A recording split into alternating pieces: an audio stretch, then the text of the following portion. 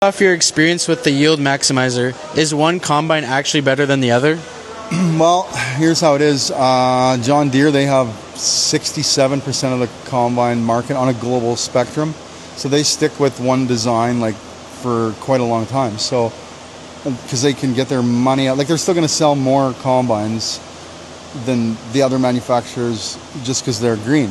So they stick with one design for longer.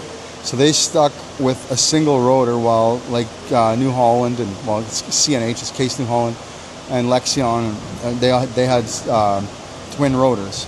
So John Deere didn't go to a twin rotor until the X9, and the single rotor like 680, 780, 98, uh, 770, 9870, those combines with a single rotor, you can't run them to the power limit, especially in canola, like especially in dry canola.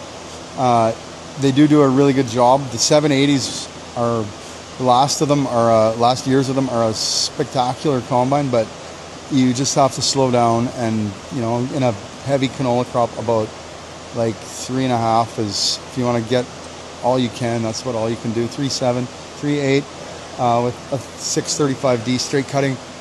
And as far as other combines uh, go like i've always been able to get these Deeres to do just as good of a job. Uh, now we have the x9s uh, excellent combine. We've had uh, you've used them two years now. I think we have 600 hours on them, and uh, not a problem. Like there was a couple times we had to uh, change some sensors in the morning on warranty, but uh, they never have put us down in the field ever in two years.